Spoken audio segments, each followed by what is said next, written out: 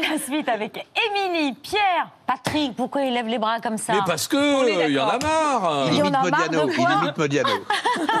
Et Vous Mohamed. le saurez tout à l'heure. Euh, et avec nous ce soir, deux tourtereaux. Ils se sont rencontrés en 1986, s'aiment depuis 35 ans, fêtent leurs 11 ans de mariage, ont préféré faire à part à part pendant 7 ans avant d'aménager, d'emménager sous le même toit, mais font le plus souvent possible planche commune. Evelyne Bouix et Pierre Arditi, unis pour la quatrième fois au théâtre, sont nos invités.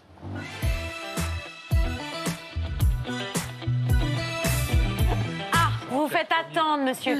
Vous rentrez le va. premier. Vous êtes la meilleure des présentatrices. ça vous va comme ça, voilà. Vous êtes pas assez C'est pour avoir une bonne monsieur critique. Arditi. Bonsoir à tous les deux. Bonsoir. Installez-vous, va je vous prie. Va, On est ravis.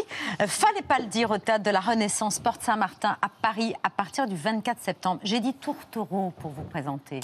Ça Oui, vous c'est convient bien, Très bien. Oh là là.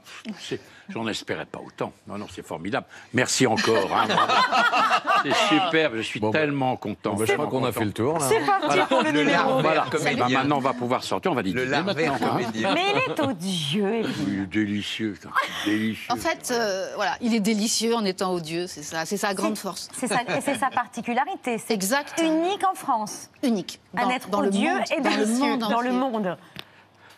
C'est très bien. C'est très bien. Continuez à parler de moi. Moi, ça me détend hein, d'une manière folle. Est-ce que vous vous aimez comme au premier jour? Je me permets des questions très personnelles, mais l'immense Michel Drucker l'a fait bien avant moi. On était en 1988 dans Champs-Élysées. Il vous, le de- il vous demandait, mais comment avez-vous séduit Evelyne? Et vous avez répondu, j'ai ramé. Et la stupéfaction de Michel Drucker, qui pensait qu'il suffisait de ce petit regard-là, odieux, délicieux, pour que les femmes succombent. C'est dingue cette réputation de séducteur, Pierre. Oui, ah bon, je- c'est passé, hein, c'est un vieux souvenir. Hein, voilà. Un vieux souvenir. Maintenant, on dit, oh, avant, on disait, euh, on disait à Evelyne, vous avez un, un mari qui est vraiment qui est superbe, vraiment très beau. Disait, oui, oui, je sais, bien. Tire un peu la gueule. Maintenant, euh, maintenant, on dit, oh, votre femme est sublime, sublime. Tu dis, il va y avoir un petit mot. Non, rien, que dalle, zéro. C'est vrai ça, Evelyne Oui. Bah, évidemment que c'est vrai. Non, mais toute il- la réalité. Non, il, dit- a, il a envie de faire rire, quoi, donc il est prêt à tout. Vous avez ramé à quel point? Euh, non, j'ai pas ramé parce que je pense qu'on on sait plus vite, très vite même. Mais j'ai ramé, euh, comme on dit, pour euh, comment dire, pour faire ma vie avec elle, parce que c'était pas si simple. Elle n'avait pas forcément décidé de le faire aussi vite. D'ailleurs, elle a mis un temps fou, sept ans pour vivre ensemble. C'est quand même pas mal. C'est quoi le plus gros défaut de Pierre et qui s'est pas arrangé avec le temps, Evelyne? Oh putain, Ah, merde. oh Vérole. Son. Comment dire Ah, oui, ah, ça, ça, oui, Son ah, c'est pas comme. je dirais. Permanent. Ouais. Euh, permanent, c'est excessif, mais, mais, mais assez constant, Oui, ça- assez récurrent.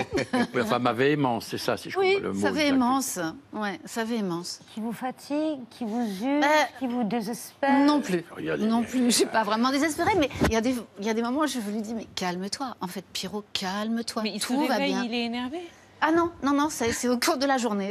D'un seul coup, s'il a un truc, euh, il se monte quand- tout seul, il se monte euh, Tout seul. vraiment, tout seul. J'adore quand Evelyne l'appelle Pierrot. Oui. Parce que nous, on Ah bah- l'appelle jamais Pierrot. Mais vous pouvez. Vous pouvez parce que les gens qui m'aiment m'appellent Pierrot. Et Pierrot, c'est quoi le pire défaut de- d'Evelyne? C'est le trac.